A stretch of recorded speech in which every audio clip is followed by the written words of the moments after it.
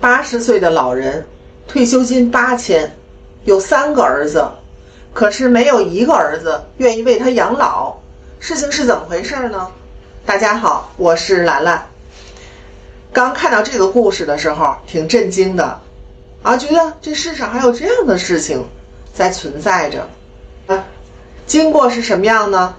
他呢有三个儿子，大儿子今年呢六十岁了，他呢说。我呢，在年轻的时候啊，就在外面干零工，所以呢，我没有正式的工作，我没有退休金。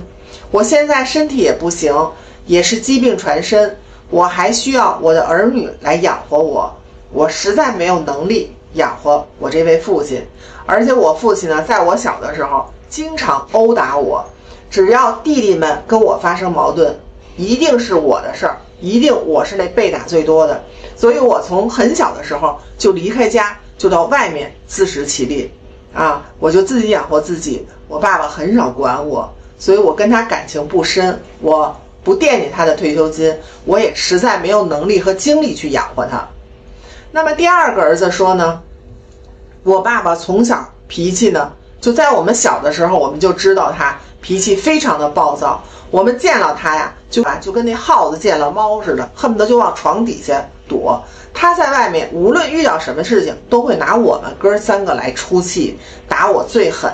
虽然呢，我呢有退休金啊，我呢，嗯，也可以赡养他，但是，他给我造成的心理阴影特别的深。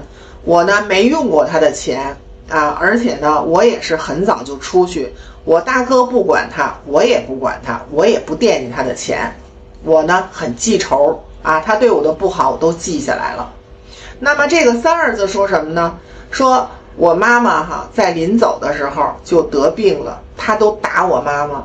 我妈带着病给他做饭，给他洗衣服，伺候他。他不高兴，不好吃就把桌子给掀翻了。我一直觉得我妈妈过早的离开人间就跟他有关系，他的家暴。我现在呢，非常的恨他。我俩哥哥不管他，我也不管他。将来他走了，他剩下那些钱，我们都捐了做公益。哎呀，听了这三个儿子说的话以后哈，就觉得哈，这个父亲呀，真的挺失败的。但无论怎么样，他也是把你带到这世界上来的父亲啊，不赡养老人，这样做合适吗？